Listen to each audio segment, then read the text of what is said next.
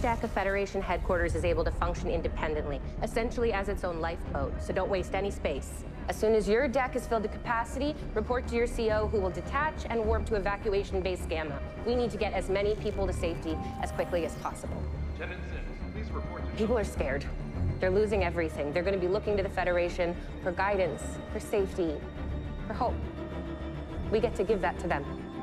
Attention all personnel, please stand by. We'll be dropping out of warp in one minute.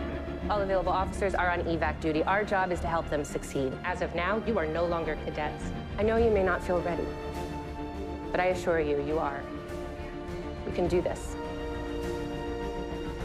Dismissed. Gorev Harral, you're with me.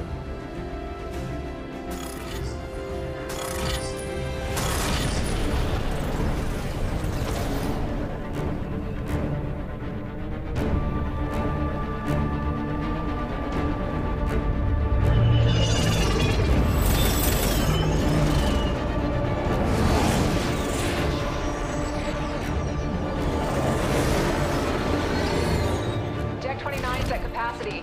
Requesting permission to undock. Permission granted. See you at the rendezvous point.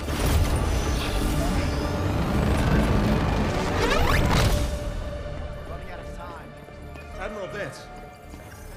Admiral, Ni'Var has 17 ships heading to the evacuation base. Do you want me to bring them here after they unload? Nah, they should stick to the plan. Ni'Var only has 86 warp-capable ships as it is. Yes, sir. How long do we have here, sir, to help Earth? Four hours until the DMA starts to hit. Well, the Mitchell is at Titan. Even with the entire colony on board, they won't hit capacity. It's a good idea. When the Mitchell's done, get them back here to pick up as many additional refugees as they can. Yes, sir. Excuse me, sir. I'm sorry, Admiral. I was just wondering. How many can we save? Realistically. First contact fails. All of Titan, maybe 450,000 off of Earth. Same with Ni'Var. Best case. That's it? Please hurry, Michael.